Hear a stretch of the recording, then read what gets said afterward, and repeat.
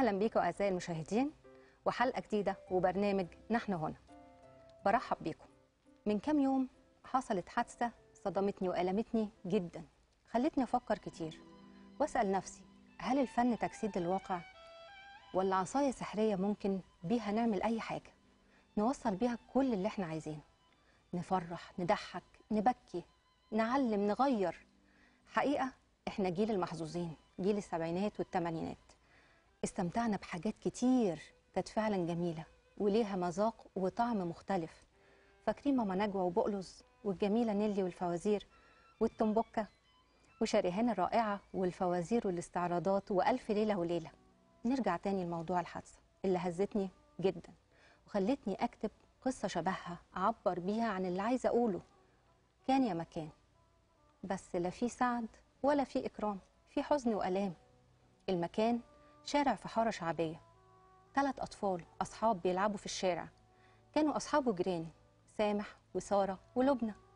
بابا لبنى كان طموح ذاكر وكمل تعليمه وتخرج من كلية الهندسة وبقى مهندس قد الدنيا. حال الأسرة كلها اتغير. هو سافر دولة عربية وهم نقلوا شقة أكبر في حي راقي. لكن فضلت صداقة لبنى وسارة مستمرة. لبنى كانت بتحب المذاكرة جدا. وبتهتم بيها.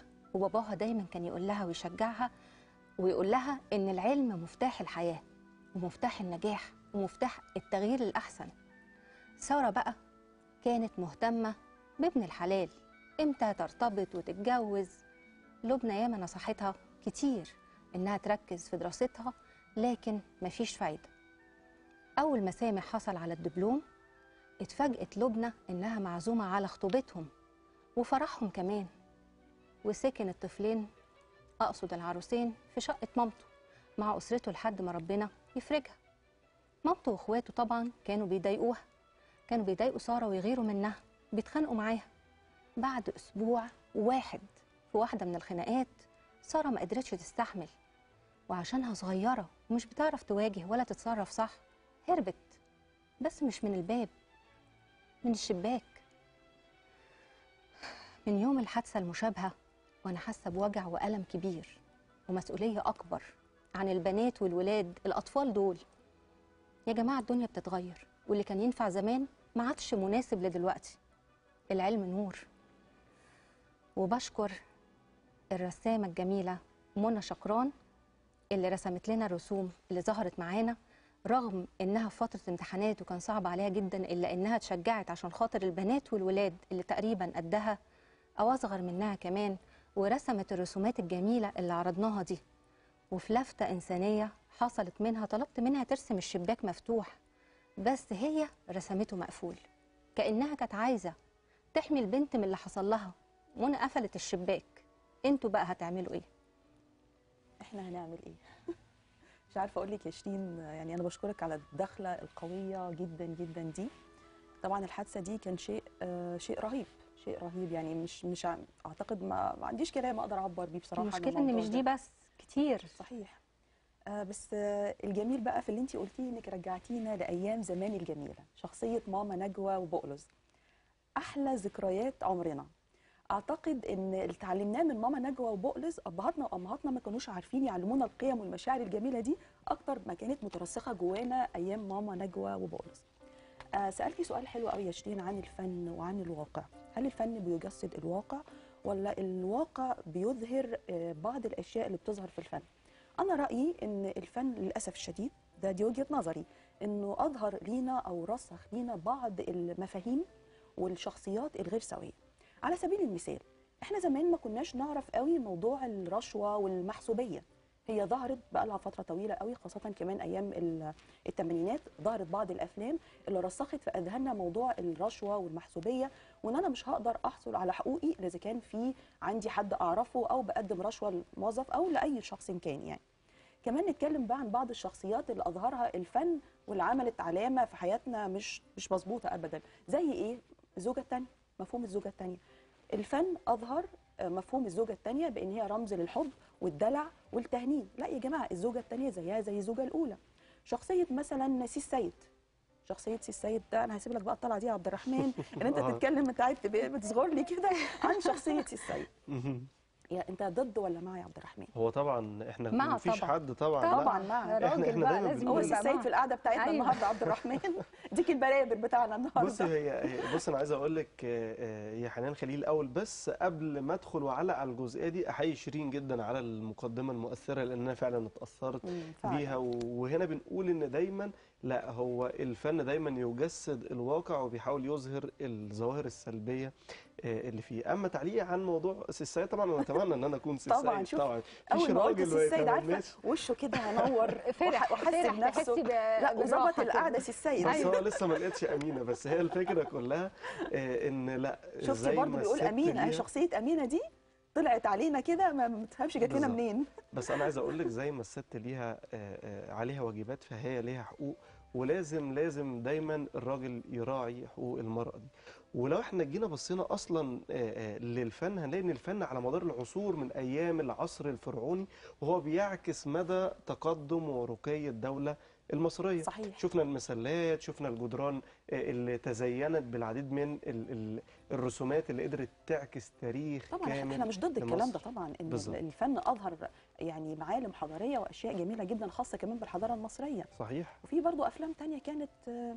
أنا عايزة أقول رمز لبعض ال- يعني سلبيات الاخلاقيات الغير سويه والغلط والسلبيات آه. ده ده بطبيعة الحال يعني لو مم. بصين حتى التجارية. للدراما، الأفلام التجارية هو ده المكسب أحسن مصطلح. نطلقه عليه لكن تعالوا بقى نبص كده نبص كده على مدار التاريخ هنلاقي مثلا إن كان عندنا فيلم زي أريد آه، حلا ده كان. للفنانة الجميلة فاتن. حمامة. اللي قدر يأثر ويغير في بعض القوانين من ضمنها قانون الأحوال آه، الشخصية إن هو كان المرآة والمنارة اللي قدرت بعد كده إنها تلفت انتباه المجتمع والدولة الفيلم ده عن كان قانون زي عالمي قانون الخلع صحيح لو جينا بصينا تاني هنلاقي مثلا طيور الظلام اللي جسد لنا مم. الفنان عادل إمام طبعا الفنان الرائع اللي بن يعني بنوصله دايما آه، تحية كبيرة. آه، جسد لنا حقبة زمنية مهمة جدا في تاريخ صحيح. مصر. اذا الفن على مدار له ما له وعليه ما. عليه. فعلا. لا وفيلم أمير الظلام.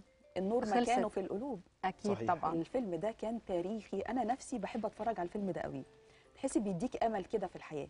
هو فكرة فيلم كمان أمير الظلام إن هو رسخ فكرة إيه؟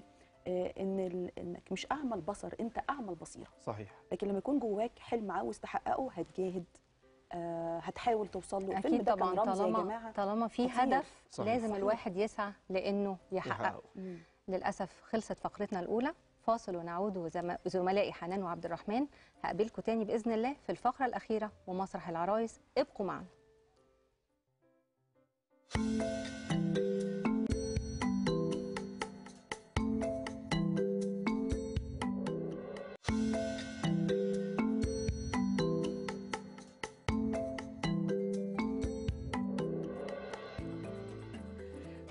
كل بلد بيبقى لها أكلات معينة مشهورة بيها. مصر أم الدنيا في كل حاجة حتى الأكل.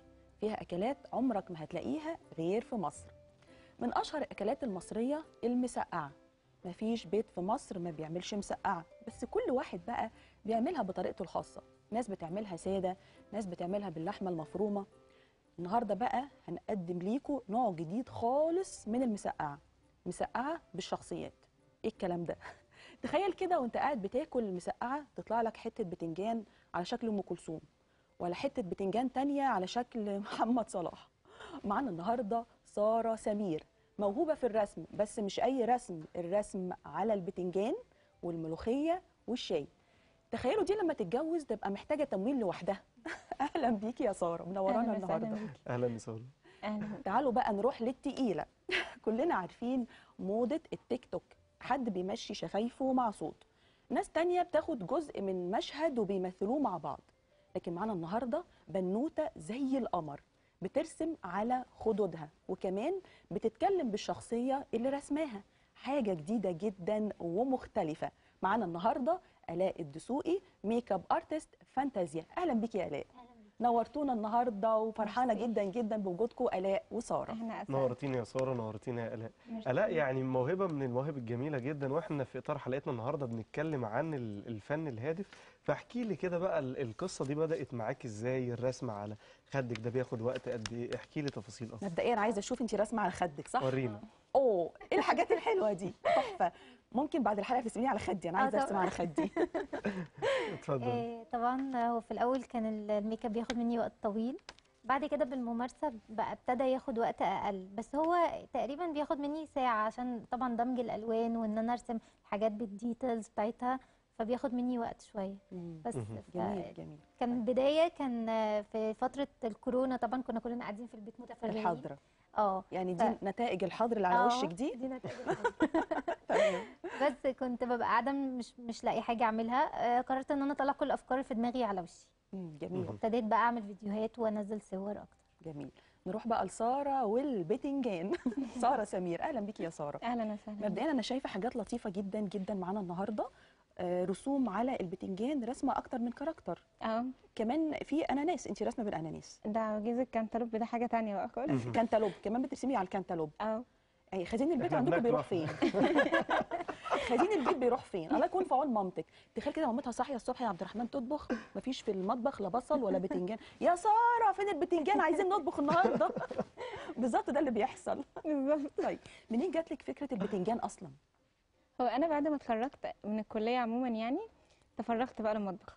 بقيت. بجرب في كل حاجة موجودة قدامي. وأنا. أساسا بحب أجرب أي حاجة أستغلها في الرسم أصلا. جميل. لازم أطلع منها تكوين طب فني. ممكن ترسمي وأنت بتتكلمي؟ عندي okay. فضول فظيع أشوف إزاي بنرسم على البتنجان. okay. تخيلي بقى لو هي كده كانت رسمة على البتنجانة ووالدتها أخدتها قطعتها. آه تخيل يطلع لي مناخير عين بق في في البتنجان. آه الاء إزاي بترسمي بتغسلي وشك بعد المجهود ده كله؟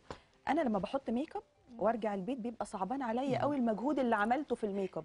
تخيلي انت بتقولي ساعة. آه تخيلي يا عبد الرحمن ارسم ساعة وأروح اغسل وشي. انت قلبك بيجيبك إزاي ترسمي آه، تغسلي بس الرسمة دي؟ عايز أقول لك بس يا حنان قبل ما هي تجاوب ان إن ألاء عملت لي character هنشوفه. خلال الحلقات الجاية. تحفة. تحفة. مفاجأة. أنا عانيت عشان أمسحه بس هو كان تحفة. مفاجأة. يا عبد الرحمن. بتغسلي وشك إزاي عايزه اعرف آه، ب- في البداية ببتدي امسحه ب wipes عشان طبعا بيبقى الألوان كتير فببتدي أه- أهديه بال wipes آه، بعد كده بدخل بقى أغسل وشي كويس قوي جميل. واوقات؟ ب- بمزيل مكياج وكده. إيه الأدوات بقى اللي بتستخدميها علشان تقدري ترسمي الرسمة بالتفاصيل؟ آه لا هو أنا بستخدم كل حاجة make up يعني في آه. ناس بترسم رسومات زي دي بس بألوان آه، الوش وفي ناس بتستخدم ألوان اللي هي العادية ال water colors والحاجات دي. بس أنا بستخدم ب make up. بحب ال make up أكتر عشان سارة بعد إذنك يا لا سارة أنا مش شايفة قوي الرسمة وكمان عشان المشاهدين يشوفوها كويس ممكن ممكن تلفي البتنجانه أنا بعمل يعني زي outline خفيف جدا آه بس طبعا ببقى مراعية جدا النسب بتاعت ممكن توريها الملامح للكاميرا كده يا سارة ولا لسه مش ظاهرة قوي لسه؟ غير لما. أبدأ في النحت. أنا مستنية البتنجانه أشوف هيطلع منها إيه. آه، بس بستخدم قلم water color ببين بيه بس الملامح اللي أنا عايزة أبدأ أنحت فيها. تمام. آه وبعد كده ببدأ بالنحت على طول. برسم. بطريقة ال pop art.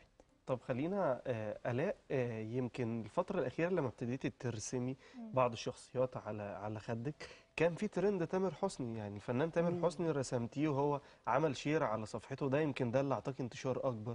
احكي لنا أكتر عن التجربة. آه، طبعا أنا بحب تامر جدا جدا. آه، وأنا كنت بفكر من بدري إن أنا أعمل آه، فيديو make up ليه إن أنا أرسمه وأغني أي أغنية ليه. وكان بالصدفة هو كان لسه منزل الألبوم.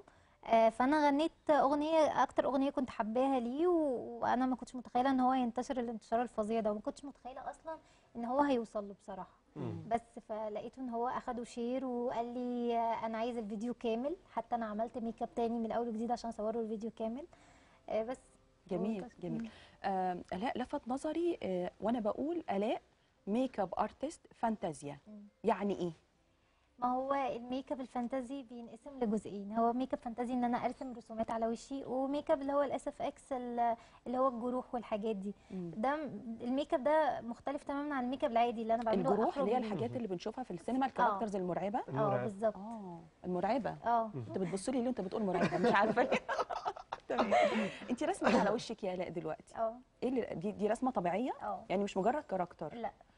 ما أنا عايزة أركز أصعب. في الرسمة دي. آه انت رسمة زي طيور كده وبحر ولا إيه بالظبط؟ هو ممكن ده ممكن. تشرحي لي الرسمة؟ هو المفروض إن ده زي بحر وزي زرع وده سحاب ومفروض إن دي ألوان الغروب. الله. مم. بتكوني شايفة نفسك يعني بتركزي كده وانت بترسمي.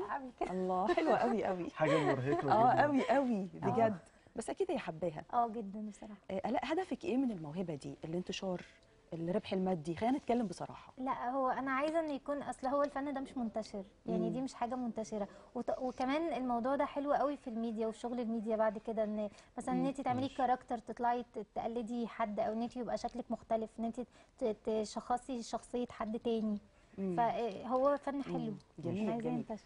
سارة عايزين كده تورينا بقى وصلت ليه عشان وقت فقرتنا قرب ينتهي out بسرعة. line خفيف و- خالص وهبدأ أنحت. عشان خاطر تسرعي يا سارة. معانا. وعايزينك. تعلقي كده على الرسومات اللي انت رسمها طبعا الرسومات دي أعزائي المشاهدين جدا. من آه، رسم أنا الفنانه ممكن أنا. على فكرة أعلق على الرسومات. بدل سارة على فكرة. يلا بينا. آه وسارة تشتغل في البتنجان. شايف أول رسمة يا عبد الرحمن؟ شايف مم. الألوان اللي فيها والرمش وهو وهي مغمضة وال... أنا عاجبني قوي ال gold الذهبي اللي هي حطاه في الرسمة دي. تحفة. نروح بقى لأم كوكب كلثوم. الشرق. wow شايف والمنديل المنديل بقى ده بتاع أم كلثوم. ليها برضو ال- جميل قوي البورتريه بتاع أم كلثوم. رسم البورتريهات بيكون صعب يا سارة؟ أكتر من آه، المناظر أنا الطبيعيه عموما ما حبيتش إن أنا يعني آخد كورسات وكده حبيت إن أنا آخد الموضوع تحدي شوية. آه بس آه في طبعا شيء أساسي إن أنا وارثة كل المواهب عن ماما. آه رسم العيله كلها عيلة أي حاجة. جميل. فالموضوع ده ساعدني جدا ك... كأساس يعني. جميل. بدأت أنا إن أنا أشتغل عليه عشان خاطر أنمي الموضوع معايا. حلو. آه وحبيت إن أنا يعني اللي أوصل له في الآخر ما ينسبش لأي حد. تاني. مامتك إحنا بترسم على ممكن- البتنجان برضو يا سارة؟ لا ماما بتعمله مسقعة. مسقعة بس. عايزين عايزين كده نبص على أبرز الشخصيات آه. اللي قدامنا كده و- ونعلق عليها. عبد الرحمن تخيل كده سارة رايحة السوق تختار البتنجان اللي هترسم عليها فداخلة بقى اللي بتاع الخضار لا أنا مش عايزة بتنجان آكلها أنا عايزة هرسم عليها يا عمو. أنا وأنا بنقي الكنتالوب أساسا والبتنجان أنا باخد شوية نظرات غريبة اللي هو تخيلي. يقول لي طب دي حلوة أقول له لا عشان مش تنفع في الرسم. يقوم باصص لي كده. تخيل انت تخيل أنت راجل؟ بسيط على قد حاله فاهم؟ آه، واحدة جاية له بتشتري بتنجان عشان ترسم عليه رد فعله يبقى إيه مش البدنجان بس البدنجان بقى. والشاي و... أنا منه امشي قبل ما هنا ما بنبيعش حاجة على فكرة جميل ورينا كده وصلت. لإيه هو أنا لسه حاليا بمشي. بالكسر على ال وهي تبقى مفاجأة فعلا طب إحنا ممكن. إحنا نبص كده على الشخصيات أنا آه. شايف كده في شخصيات كتير هو أنا. كل شخصية كده برسمها بتبقى نابعه من. حبي للشخصية نفسها. يعني هاتها كده بيني وبينك. بعد إذنك يا عبد الرحمن لا آخد أنا أول بدنجانه معلش خد انت خد طب البتنجان انت بدنجانه الله. وأنا كنتالوبيه الله الكبير قوي. رسمة الكبير قوي. خدتي بالك يا الاء آه، منها. تحفة تجنن. انت معاك مين ده بقى؟ حسب الله؟ ده متعور ده ولا إيه؟ عم اسماعيل بتاع البطيخ. مين؟ عم اسماعيل بتاع البطيخ. آه، بحب. جدا إن أنا أرسم العواجيز. الله الرسمة حكاية. تحفة. يا جماعة أنتوا متخيلين الرسمة مع عبد الرحمن؟ ده, ده كانتالوب. أنتوا متخ... يعني المشاهد فاهم معانا ده إيه؟ ده كانتالوب. مرسوم عليه رسمة راجل عجوز. لا دي بجد إيه؟ يا عبد الرحمن اللي معاك؟ دي مين؟ دي مراته. يعني والله؟ يعني اللي فهم. قاعدين دلوقتي بس إيه مستنيين الحلقة من بدري فاهمة؟ الراجل ده ومراته المفترض كده بقى ده يعمل صفقة بطيخ ترسمي عليه. نعمل له إعلان أهو. الله إيه بقى اللي معاك؟ أنا مش شايفة يا عبد حاجة الرحمن. حببتني في الرسم رسم واو تشارلي شابلن؟ تحفة. واو يجنن. شايفين إيه يا جماعة رأيك يا الرسمة آلاء؟ دي؟ يعني صراحة خلي آلاء. تعلق لنا كده. تحفة جدا. شايفين التفاصيل؟ شايفين ال- البورنيطه والعين والمناخير والبق وال- والحفر اللي هنا التجويفات اللي هي عاملاها الجميلة دي؟ حلوة قوي قوي. بجد حاجة رائعة. وفعلا معاك إيه يا عبد الرحمن؟ بكون سعيد لما أشوف ان ان إن الفن بي بينتقل عبر الشباب والأجيال بفكر مختلف وفكر جديد. مم، أنا حبيت إن أنا قوي. تقريبا أرسم بكل يعني- حاجة موجودة في المطبخ يعتبر يعني. يعني كنت برسم بالنعناع وبالشاي الناشف وبالكاتشب ويعني شخصيات كتير قوي حبيت إن أنا أطلعها من قلب المطبخ يعني.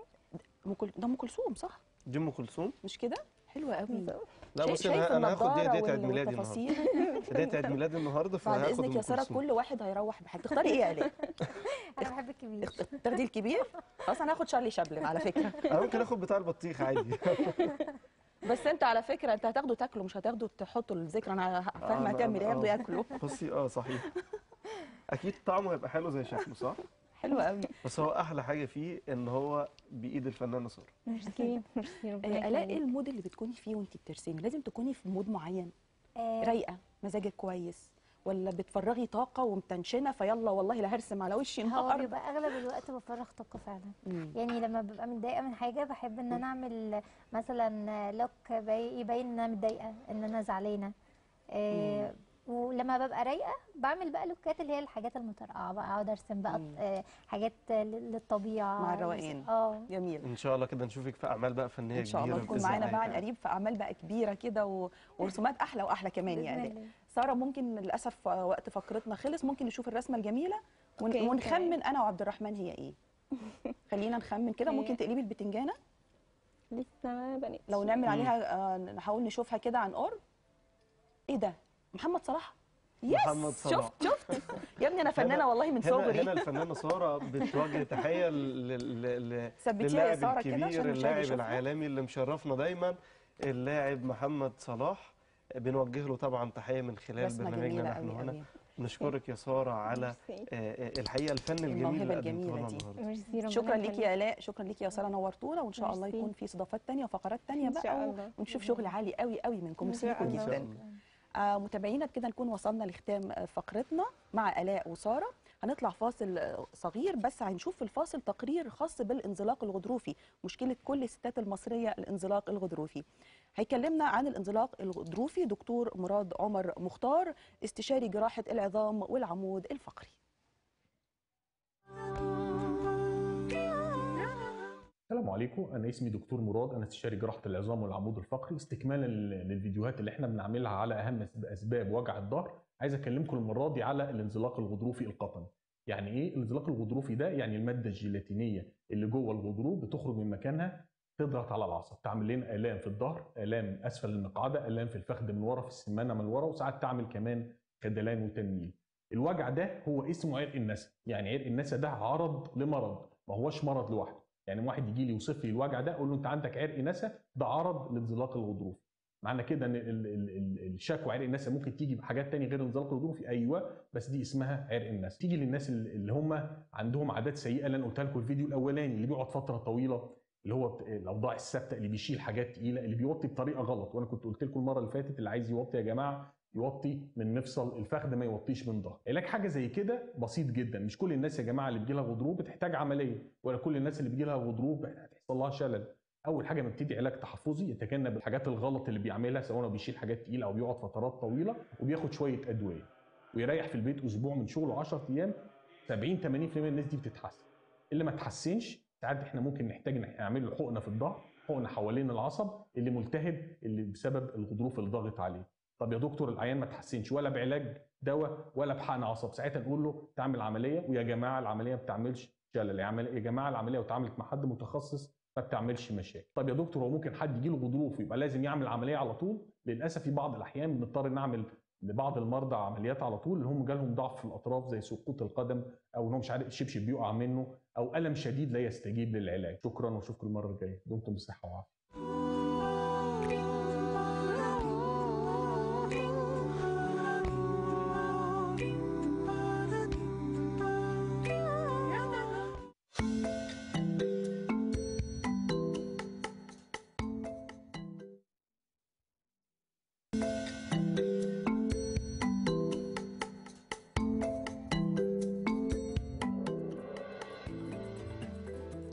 الفرصة بنت جميلة راكبة عجلة ببدال الكينج محمد منير غناها وفعلا الفرصة زي البنت الجميلة.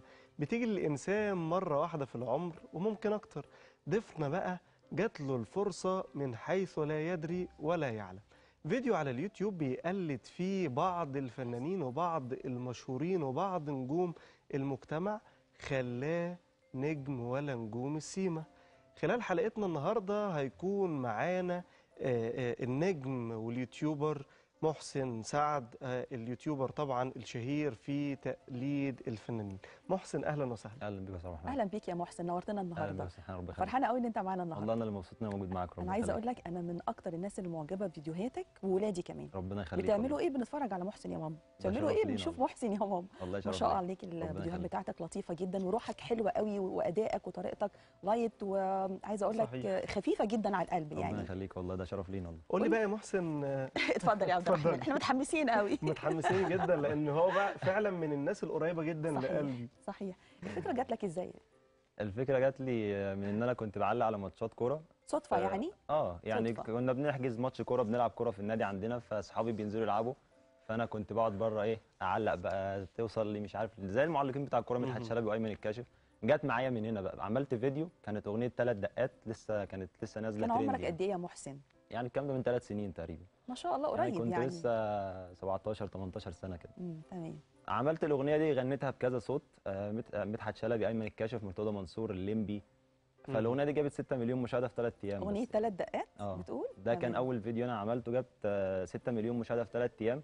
مم. فده قال لي بقى هتكمل فيديوهات بقى. ففي صفحة أصلا خدت الفيديو ده نزلته مش أنا اللي نزلته. ففي لقيت بقى في التعليقات على الفيديو ناس عمالة تقول آه، اسمه إيه صفحته إيه. فقلت بقى ليه ما اعملش لنفسي صفحة مثلا واقعد اعمل فيها فيديوهات من دي واقلد اصوات اعمل مقالب اشتغل الناس بالاصوات اللي أنا حلو بقلدها قوي.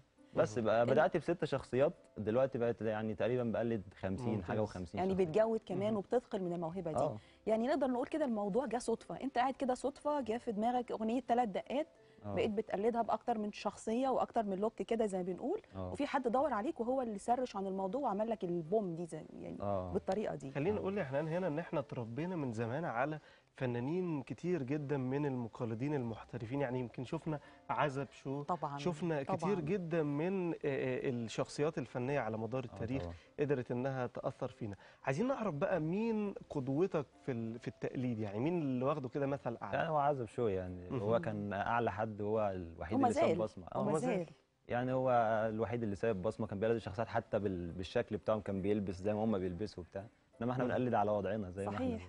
لا أنا عندي حماس قوي جدا إن أنا. أبطل كلام ونبدأ بقى نشوف محسن بيعمل إيه. يلا بينا. طيب عايزه أشوف ال- المستشار مرتضى منصور هو بيعلق على ال photo session الخاص بسلمى الشيمي أنا هسألك كده وأنت ترد أنا عليا بس عايز أقول بس عشان في ناس بتقعد. تقول لي أنت بتقلد مرتضى منصور وممكن يعمل لك مشاكل وبتاع. لا بقول إن أنا الناس اللي أنا بقلدها دي حبا فيها مش أكتر يعني واحد يقول لي ليس نوع من ممكن انواع ممكن السخريه لا ولا لا الانتقاد يا. جماعة لا في ناس بتقعد تقول لي الفنان ده ممكن يقول لك أنت بت... بت... بتنتحل شخصيته أو حاجة لا أنا لو ما بحبوش مش هقلده فأنا بحب أقلد الشخصيات دي بس يعني لا وهو أحلى من الناس اللي أنا بحبها جدا مرتضى منصور ده على راسي طبعا وهو حبيبي. شخصية. محترمة جدا وقديره. وإن شاء الله يستمتع بالفقره دي. أكيد. الله. يلا بينا. علينا آه عاوز أعرف رأي المستشار مرتضى منصور آه، بخصوص ال- الواقعة اللي حصلت قريب آه، تس- آه، الصور اللي كانت عند الهرم الخاصة بسلمى الشيمي تعليق حضرتك عليها إيه؟ يلا بينا. طبعا هو المستشار ما بيعجبوش الكلام ده فهيقول إيه؟ طبعا يا بيه في البداية ها برحب بحضراتكم طبعا في برنامجكم المتواضع ويا بيه يا بيه إيه القرف اللي إحنا شايفينه ده. دي قلة أدب وسفالة. لما يا بيه تروح تتصور مع آثار مصر ها بالشكل اللي إحنا بنشوفه ده مش عايز أشتم بس وأقول آه، ألفاظ لكن يا بيه الشكل ده ما يليقش طبعا بمصر وبحضارة مصر. كلامي واضح. ولا أنتوا سيادة رأيكم طبعا في الكلام لا- ده ثواني. يا بيه من فضلك. ثواني يا بيه. يا سيادة يا بيه. ثواني. يا بيه مش عارف أتكلم من صوتك. ثواني يا بيه بتكلم أنا دلوقتي. إيه رأي حضرتك؟ انت سمعة في مصر؟ أمال مين اللي يحليها يا بيه طبعا الشكل جميل طبعا وما قلناش حاجة لكن الكلام ده يتصور في البيت. ما يتصورش في آثار مصر قدام الهرم. ده تاريخ. يعني حضرتك منهرج. أتكلم ولا لا؟ اتفضل. حضرتك سيديهات آه أنا خايف طلع سيديهاتي كلها. كلكم معايا. الكلام واضح. يعني حضرتك مع تصوير photo session أصلا ولا ضد إن يكون ثواني يا بيه. إيه photo session؟ وإيه اللي ده كلمينا عربي يا بيه بعد إذنك. photo session و... تصوير يا بيه. بتتصور بتتصور شوية صور وخلاص. لكن الشكل المقرف ده ما بنرضاش بيه طبعا يا بيه. الكلام واضح. شكرا المستشار طب لو قلنا. بقى هنا بقى نتخيل كده إن هي مباراه ما بين آه، آه، آه، أكتر من حد بيصور photo session وهيعلق عليها أيمن الكاشف هيعلق على الفوتو أيمن session الكاشف character لوحده بصراحة. المعلق الجميل أيمن نعلق الكاشف. على على على سلمى الشيم ممكن مثلا نجيبها بنظام جول. يلا بينا. وادي الصورة في التانية ودينا شايفين القطايف واللطايف والصورة جنب الهرم يا عيني وجول. جول جول جول صورة سلمى الشيمي اللي بتقلب الفيسبوك كله يا عيني على القطايف واللطايف. هو كده يعني هو بتاع القطايف واللطايف. بحبه أنا جدا. الجميل مدحت شلبي. معروف إنه لا مؤيد ولا معارض. هو الجميل مدحت شلبي من الشخصيات المحايدة في أي تعليق على أي حاجة وفي أي موقف. هو أهلاوي بس مش عايز يقول يعني. أهلاوي. انت أهلاوي ولا زملكاوي؟ أنا أهلاوي طبعا. أهلاوي. وأنت يا عبد الرحمن؟ آه، أحلى تحية ليك. أهلاوي طبعاً. أهلاوي. تاسع عبد. الاهلي حديد. طيب. يعني ممكن نقول مدحت شلبي شلبي؟ بيعلق دلوقتي. على الجول لو حضرتك فاكره اللي هو بتاع إيفونا. كان في وسط ثلاثة وجابها في الشناوي تصل الكرة لإيفونا المختفي تماما. في وسط ثلاثة في وسط ثلاثة في وسط ثلاثة في وسط ثلاثة! يا نهار أبيض! يا مالك يا مالك القلب هل انتهى أمري يا آسر الحب ده أنت الأمر كله ليك يا ابني ده أنت الأمر كله ليك يا مالك لفها له إيه لفها له لفة جاتوه لفة جاتوه يا جماعة بتوع البلاتو حلوة حلوة حلوة حلوة wow الله حلوة يا حلوة. حلوة حلوة الجون ده حلوة معلق حلوة. معايا من يومها حلو معلق حلو عليه. حلو ربنا يخليك. قول لي بقى بص آه، الخالة نوسة من ضمن ال ال الشخصيات والكاركترات اللي فعلا آه، كلنا بنحبها فلو حبينا بقى كده نقول حاجة بقى بصوت الخالة نوسة أو آه، الحاج قطاطة إحنا نقول حاج الحناوي الحاج الح- خلينا آه، في الحناوي. محمد ولا سعد أكتر. character الحناوي. أعتقد بيتم تقليده محمد سعد آه لأن صح؟ هو شخصية عمل كذا character أكتر من character. طب أنت حابب تقلد إيه معانا يا بس بلاش النهاردة؟ بلاش بلاش يدعي لنا ال- الحناوي يا رب اكرمه يا رب لا بلاش اكرم قرأت تلاقي النجف هو أنا بحب بقلد كل الشخصيات بتاعته بس أكتر ناس أنا بحب أقلدهم بوحة آه، الليمبي؟ الليمبي والحاج الحناوي لأن دول أكتر ناس علمت يعني. لا وريني الليمبي بقى يا محسن. والله حضرتك بلاش تحرجيني يعني أنا مبسوط بإن أنا موجود معاكم في قلب هذا البرنامج الجميل وربنا يكرم إن شاء الله ونعمل شغل جامد مع بعض. وحضرتك يعني أنا ممكن ألفت قصيدة لنوسة حابب أقولها لك يعني. أنت يا بت السوق الحب الحب. البوس البوس. مشتاق مشتاق. واللي يا واللي بلوبيب بلوبيب آه. جاي جاي جاي جاي. الله عليك يا محسن طيب رضا حامد. لا character لوحده. آه، character آه، لوحده. عبد الحميد حافظ. حضرتك مش واخد بالك من الشبه؟ اني لك أنا هو كده يعني أنا أنا رسام حضرتك كوكتيل من الأستاذ اللي هو بيجي مع الأستاذة. فين ما بتلاقيه ها؟ اوعى تقولي انت عارفه أيوه. أيوه. آه، افتكرت. الأستاذ شمال الكناوي. أيوه شمال الكناوي. اللي هو بيجي مع المطربة الكبيرة روضه زجايريه الاثنين مع بعضهم خدها بقى منه حبيبي. الأستاذ شاني كان خدتها من شاني خدتها أكل على طول ها؟ أنا سمعت كل حاجة إني أفهم كلمة واحدة. أنا والله ما فاهم أي حاجة. طب خلينا نقول إيه إحنا في مقتبل عام 2021 لو الحناوي هيدعي للمصريين يقول له إيه؟ الحناوي يقول يدعي لهم المصريين وهيقعد يا رب اكرمهم يا رب. حقق لهم كل ما يتمنوا. يا رب. أنبوبة تضرب فيهم بوتاجاز يولع مش عايزين يحصل زي ما حصل في فيلم السنة دي خليها تعدي على خير. من الواحد قلقان من الشهر برضه اللي. بحبها قوي قوي يا محسن يوسف عيد. يوسف عيد؟ تقدر تقلد لنا النهارده يوسف. عيد ولا مش محضر؟ أقلده مش هقول لك. حتة اللي هو قالها في الفيلم بتاع عادل إمام. يا حلوة يا اللي نازل من الشفة. شعوك سلاسل ذهب دمك كمان خفة. ادفع في مهوك ألوف وأهديك جامع مالي. لو قلت كلمة يسمع بسمع من الشفة. إيه؟ بتضربوني ليه؟ لا أنت بجد منورنا يا محسن النهارده. طب محسن. بقى خلينا نقول كده آه، مين أكتر شخصية قريبة لقلبك بتحب فعلا تقلدها؟ أكتر شخصية ممكن أقول الناس اللي أنا بدأت بيها يعني. اللي هم فرقوا معايا. أكتر اتنين أيمن الكاشف ومدحت شلبي. لأن دول الفيديو الوحيد اللي أنا عملته يوم لما بدأت أعمل فيديوهات هو اللي ضرب معايا وعلم معايا الدنيا كلها. فهم اتنين أكتر اتنين بحب اقلدهم حتى وأنا قاعد مع نفسي كده. جميل. آه كل سنة وأنت طيب يا عبد الرحمن. على فكرة عيد ميلاده النهارده وكل سنة وعبد الرحمن طيب. عايزة أبو حفيظة يقول لعبد الرحمن كل سنة هو طيب. ممكن؟ ماشي. أسعد الله مساءكم من جديد. آه، النهارده قبل ما نبدأ حلقتنا الجميلة آه، حابب أقول لك يا أستاذ عبد الرحمن كل سنة وأنت طيب. من برنامجي المتواضع. بقول لك كل سنة وانت طيب وإن شاء الله كده تكون آخر سنة ونشوفك بالبدلة الحمراء. حبيب قلبي وخلينا بس نقول حاجة كده مهمة. يعني ليه؟ لكل الناس اللي شغالين في شغل العاملين بيبقى معظمهم ستات. أقسم بالله العظيم أقسم بالله العظيم الناس دول حتى لو دخلت عليهم الساعة واحدة الظهر بتلاقيهم برضو بيفطروا. مش دي القصة؟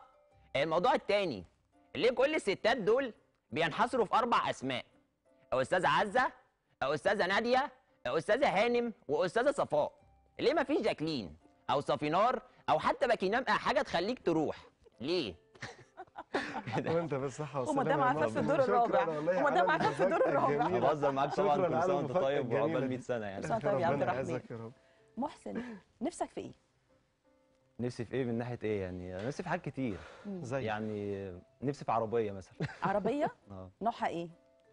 آه، نفسي في عربية تدوسني. يا الله. ساتر. ليه كده؟ إيه؟ ليه الحزن ده؟ يعني حاجة كده من لا بلاش دراما. يعني بص خلينا كده حلوين وماشيين كده زي آه، الفل. يعني؟ زي؟ حسن شاكوش يعني اركب ال X 6 طيب عشان أقول ركبت ال X 6 بلاش نفسك في إيه بتحلم بإيه؟ شايف صحيح. نفسك فين بعد مثلا 10 سنين؟ بعد 10 سنين هو طبعا رب لو ربنا ادانا عمر الواحد آه، بيسعى في حاجة إن أنا أوصل دلوقتي إن أنا أوصل مليون مشترك على اليوتيوب بعد دلوقتي كده كام؟ أنا دلوقتي داخل على 900000 حلو ما شاء الله. يعني أنا وصلت على ال page بتاعتي على الفيسبوك فيها مليون و200 مم. إنما اليوتيوب صعب قوي يعني المشاهدات على اليوتيوب بتبقى أصعب من الفيسبوك لأن ما فيهوش share زي اليوتيوب زي الفيسبوك وكده. فداخلين على 900000 فاضل 100000 وربنا يسهل إن شاء الله. بعد ما أوصل لمليون ممكن ناخد خطوة تانية لكن في خطوة معينة أنا بسعى عليها دلوقتي. إن شاء إن الله هو الدرع الذهبي والمليون مشترك. جميل. طب محسن خليني أقول لك آه، هل طموحك التقليد بس على ال social لا لا ميديا؟ طبعا. ولا بتفكر مثلا تعمل برنامج تدخل في عمل فني؟ هي بتبقى إمكانيات. لو أنا معايا الإمكانيات اللي تساعد إن أنا أعمل برنامج خاص بيا ممكن أعمل ده عادي جدا. وفي دماغي أفكار كتير جدا أقدر أعملها بس بتبقى محتاجة فريق عمل. بتبقى محتاجة حد يصورك حد يعمل لك مونتاج انت لو هتعمل كل ده بنفسك انت محتاج 100 سنة لحد ما تعمل صحيح. برنامج. ربنا يوفقك يا شاء محسن الله يا رب يعني وان شاء الله نشوفك بعد 10 سنين في مكان تاني خالص. تبقى تسلم علينا بقى تعبرنا كده لما الله. إن شاء نكلمك الله. آه سمعت إن عندك موهبة جميلة قوي هي تقليد الشاعر هشام الجخ. إيه رأيك؟ آه،. نختم بيها بقى يا جماعة النهارده. نورتنا يا محسن. آه كانت فقرة مميزة جدا ويا ريت نختمها. بالشعر الجميل للشاعر هشام الجخ. هشام الجخ. طب تمام. هقول لك قصيده ما تزعليش. ما تزعليش خد. بقى كده المايك وورينا المايك ولا. عادي هنا اللي عجبك في المايك يا أستاذ ولا أحمد؟ ولا خلاص okay. تمام يلا آه موسيقى music معانا ما تزعليش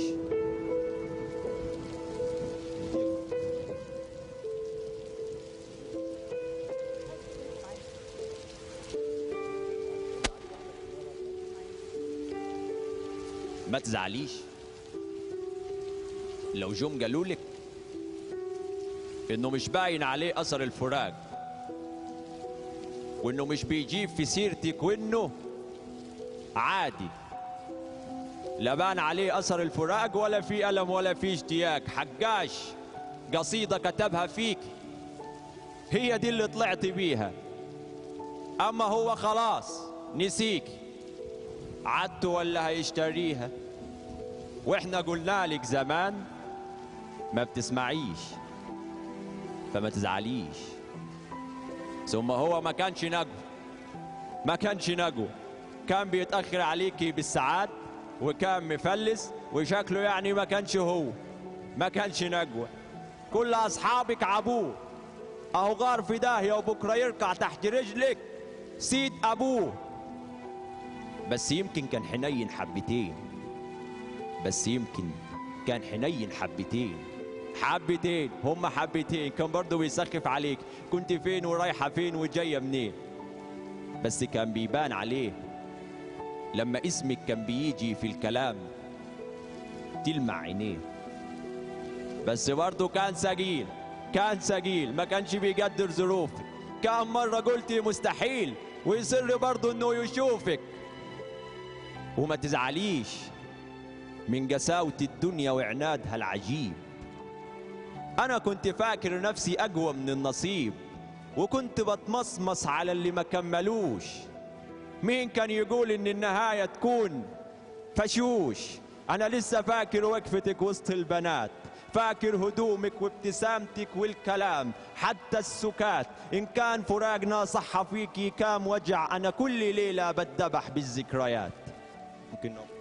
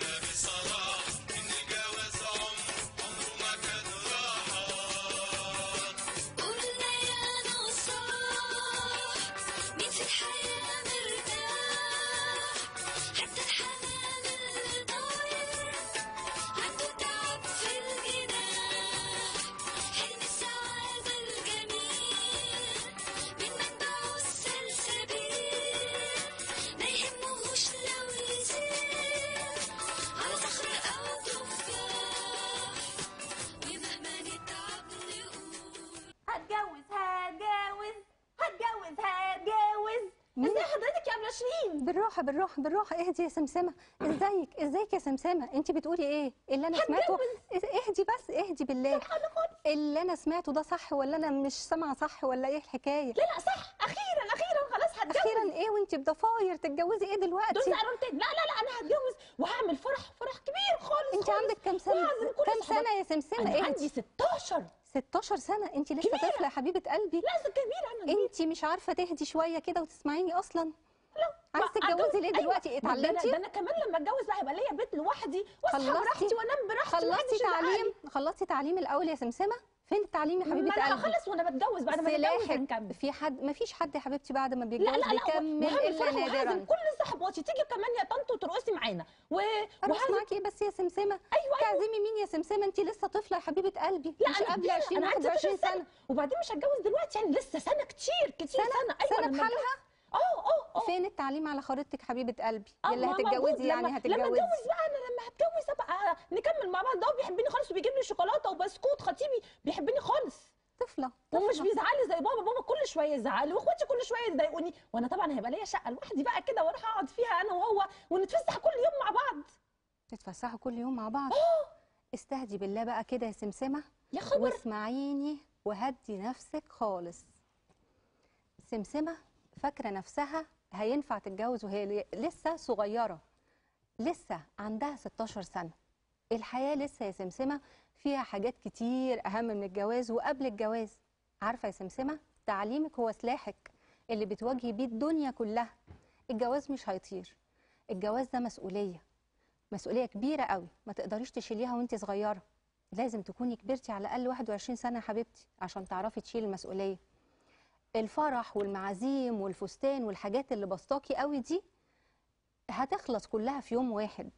واللي كان بيقول لك هفسحك كان غيرك اشطر يعني اسألي أي حد متجوز أي واحدة متجوزة هتقول لك اللي فيها. بابا بقى اللي كان بيزعق لك يا سمسمة محدش أصلا هيحبك في الدنيا قده. وإخواتك اللي كانوا بيضايقوكي دول ها عزوتك وسندك في الدنيا. أهلا بيكي معانا. مصممة العرائس القفازية رحمة. آه برحب بيكي يا رحمة. برحب بالفنانة رحمة محجوب. أهلا بيكي يا رحمة. أهلا وسهلا بحضرتك اتشرفت بيكي جدا. كلميني يا رحمة عن إزاي بدأت عندك هواية العرائس القفازية دي. كنت زمان بتتفرجي على ماما نجوى وبقلز ولا إيه الحكاية؟ أنا عاشقة للعرائس. من يعني- من وانت طفلة. جدا مم. وطول عمري أحب أمسك العروسة كده كصاحبتي وأتكلم معاها وألعبها وأبص لها كده وبتتحرك. بحب العرايس كلها. وإمتى بداتي بقى حكاية إن انت تاخديها مهنة ليكي آه لما اتخرجت بقى معايا بكالوريوس علوم وتربية في الطفولة. آه فقررت إن أنا أمارس دوري كتربوية تجاه الأطفال من خلال مسرح الله من العرايس. خلال اللعب والمسرح. ده شيء جميل جدا. يعني انت يحبوني. عندك رسالة من. بتقدميها يا رحمة؟ جدا. يعني هو, هو أنا نفسي آه، كل حاجة بيتعرض ليها الطفل بتساهم في تنشئته وفي تربيته منها المسرح منها الفنون. وبما إنه فن فهيسهم في إنه يربي الطفل. لو أنا طلعت العروسة وخليتها حبيبته وبتتعامل معاه وبيتواصل في تواصل وجداني ما بينهم وخليتها ليه قدوة في حاجة هيقلدها. وهيبقى هو حابب يعني يعمل انت ده. بتستغلي الفن فعلا وبتوظفيه لأن انت تعلمي الولاد. بالظبط كده. ده شيء جميل جدا ورسالة سامية بنشكرك فعلا إن انت بتعمليها. طب قولي لي يا رحمة بالنسبة للأسرة مين أكتر حد شجعك ودعمك في المجال ده؟ مامتي مبدئيا؟ طبعا أول حاجة أول حد. لأنه الناس كلها كانت يعني كل الناس متخيلة إنه إيه ده؟ عروسه إيه اللي بتلعبي بيها دي؟ و... عيب انت بابايا ما كانش. فاهم قوي كان قلقان إيه تتجنن نف- تتجنن بتكلم نفسها و... طفولة متأخرة. عفوا أنا آسفة. آه وبدات بقى كده أشتغل وماما اللي تدعمني. أعمل المسرح أعمل العرايس أقول لها على فكرة انت. كمان اللي بتصمميهم أنا اللي عاملة المسرح وأنا اللي بعمل العرايس وأنا. اللي بكتب ال ال القصة اللي بعرضها للأطفال وأنا اللي بأديها أداء صوتي وأداء حركي وبوصل لغاية خمس شخصيات أداء صوتي وحركي لوحدي ورا ده المسرح جميل جدا جميل جدا فبدأت ماما هي اللي تدعمني بقى أقول لها فكرة تقول لي طب في إفيه هنا مش عارفه أقول لها إيه فابتدت تشجعني وتغذي عندي الأفكار فبدأنا كانت بتساعدك في الأفكار كمان آه آه، بابا كان بيبقى داخل ويحس إن إحنا في إيه يا جماعة في حاجة ماما. كمان بقى يعني آه بالظبط ماما آه، كمان انت. قعدتي ماما يعني بالظبط كده لغاية ما بدأ يستوعب الفكرة وابتدوا يفهموا الناس اللي حواليا إيه فكرة المسرح فابتدوا يحبوه جدا يعني باباكي لما لقى مثلا نجاحك فعلا في العروض بدأ يحس من يقتنع حب الأطفال ليا من يعني حب الأطفال وإنك انت. شايف قد إيه بيقبلوا على المسرح. وبينبسطوا وأرجع اوري له الصورة. بص الجمهور النهارده كان عدد مش عارف عامل إزاي وبابا بيجي معاكي باباكي العروض لا لغاية دلوقتي مش قوي. يعني هو اداني بس بس ال okay جه. يعني اداني ال okay يعني عرضين ثلاثة كده ولا إيه؟ مفيش خالص. خالص؟ لا خالص. بس هو اداني ال okay فيعني اللي بيحضر معاكي مين؟ مامتي بقى. ماما. آه يعني وعارفة أختك كمان. تقريبا؟ وأختي وأخويا يعني عاده أنا لما باجي أصور حاجة عشان أطلعها على الشاشة بيبقى معايا مساعدين يعني المساعدين انت المساعدين بتوعك ماما اسرتك واخواتي واه حد مهندس ديكور بقى حد إضاءة وحد بعزمهم في الأسرة نفسها؟ آه آه ده, بنتصرف ده شيء يعني. جميل جدا. آه على الشاشة في صور جميلة للعروض بتاعتك يا رحمة؟ بالظبط. آه واضح إن الأولاد فعلا بتقبل عليها جدا الألوان مبهجة. آه بتحسي إيه يا رحمة وانت بتعملي العرض كده ومع تجاوب الولاد؟ انت عارفة مسرح العرايس ده الكبار والصغيرين يعني انت بتقولي بابا يعني بيحس إنها حاجة طفولية بس حقيقي الكبار والصغيرين بيقبلوا عليه وبيفرحهم على فكرة. أنا عايزة أقول لحضرتك ان أمتع لحظة بالنسبة لي وأنا خارجة من ورا المسرح وابص ألاقي نظرة الأطفال وهم هم مستنيين. مين. دي؟ مين دي؟ مين دي؟ إيه؟ مين أيوة. اللي كانت بتحرك العرايس؟ وأحلى سؤال لما ألاقي بنوتة كبيرة أو ولد كبير يعني ثانوي أو إعدادي يقول لي هو انت اللي كنتي بتعملي الأصوات كلها؟ إيه كانش؟ معاكي حد؟ انت كمان في جم... من جمهورك كبار كده في إعدادي؟ آه والحمد لله. وعندي كمان أمهات ويبتدوا يهزروا. مع آه مثلا عندي بس شخصية اسمها الأمهات أرنوب. ممكن يجوا ممكن هم بيجيبوا الأطفال بس بقوا بيش آه أيوة الصورة. دي فعلا أكبر تعبير على اللي انت بتقوليه ده. فعلا كله فرحان. كانت كان عيد ميلاد طفل في حضانة و... آه. ورحت كان كان يوم ممتع. والأطفال مش عارف يقابلك يطبطب عليكي يبوسك. يعني هو ماشي كده معدي الأطفال دول ال- البراءة. عارفة لسه جداً، المشاعر الجميلة. جدا. قبل بقى إيه الأيام ما تاخدها بقى وتتغير. بالظبط. بس بس الكبار والصغيرين كله الحمد لله. الأمهات لكن ما فيش واحدة كبيرة بتيجي لمسرح العرايس مخصوص لازم مش تكون بتيجي معاها مخصوص. آه بالظبط. إلا عاشقين العرائس اللي زي حالاتي. يعني الناس اللي بتبقى عايزة تاخد فكرة إيه المسرح يعني أصل العروسة القفازية هي عروسة تربوية. يعني بتبقى موجودة بس في الفصل إنه الميس تلبسها فزيكم يا أولادي ممكن آه. نشرب كذا ونعمل كذا. أنا يعني حبيت إن أنا أخدها أرجعها تاني لأ طب ما هي ممكن تقدم عرض. فعلا ممكن فعلا. تعمل شغل والحمد لله بقى لأ يعني بقيت أقدمها عارفة هي كمان قائمة على على التفاعل المباشر. حتى لو العرض هو هو ما بيبقاش ال- التفاعل هو هو ما بتطلعش المسرحية هي هي. طب- باخد من الأطفال وبزود عليهم فبتطلع جديدة. حسب اللي بيحصل قدامك. بالظبط. طب إيه المشاكل اللي ممكن تواجهك يا رحمة؟